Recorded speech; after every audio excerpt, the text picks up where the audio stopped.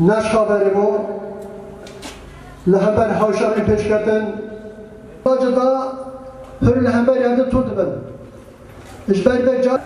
والنقطة الأخرى المهمة والتي لا تقل أهمية عن السابقة وهي اعتبار أن الحالة أن الحرب حالة طارئة ودخيلة على العلاقات الإنسانية. ومن خلال دراسة متوازنة للتاريخ الإنساني نجد بأن الحرب في حقيقته بعيدة عن الحالة الإنسانية الطبيعية التي يسميها المفكر عبد الله أوجلان المجتمع الطبيعي.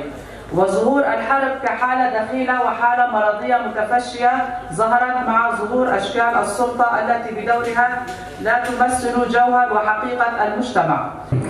بداية دعونا نتفق على أن يعني غياب السلم الاجتماعي والسلام بشكل عام كقيمة في منطقتنا والاضطرابات اللي بتعيشها منطقتنا منذ عهود طويلة بترجع في أحد أسبابها لغياب قيم نبيلة ونادت بها الفلاسفة منذ عهود طويلة وأيضا نادى بها الرسل والأنبياء جميعا وهي قيم العدل والحرية والديمقراطية. القيم السامية دي إذا ما سادت في أي مجتمعات بيسود السلام في هذه نحن في الحزب السوري القومي الاجتماعي نعتبر القائد عبد الله وجلان بطل وطني قومي يمثل الإرادة السورية في مواجهة الطغاة ودول الاستعمار والعدوان والطغيان التركي. نحن في يوم السلام نحن نؤمن في الحزب السوري القومي الاجتماعي بأن السلام أن تقر الأمم المعتدية بحقوقنا في الحياة والسلام والحياة الحرة الكريمة.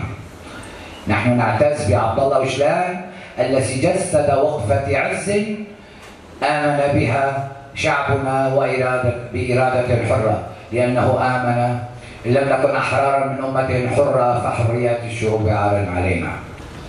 وإني أرى في وحدتنا وحدة الشعوب القائمة على مشروع العلماني الديمقراطي اللامركزي المبني على أساس العدل وحرية الشعوب هي الحل الموجود على المدى المنظور.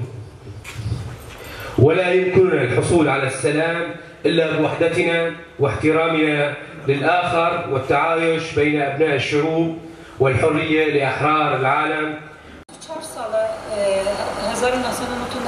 أو كيفية إنهاء قانون الدولة التركية. فكما هو معلوم منذ 24 عاما.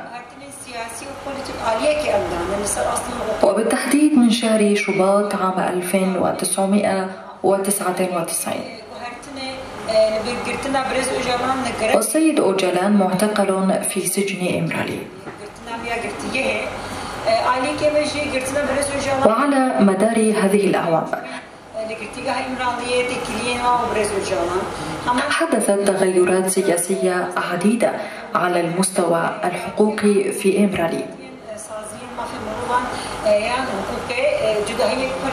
أولها تغيرات في القوانين التركية من جهة اعتقال السيد أوجلان في جزيرة. والتغيرات التي حدثت بالنسبة لوضعه الصحي.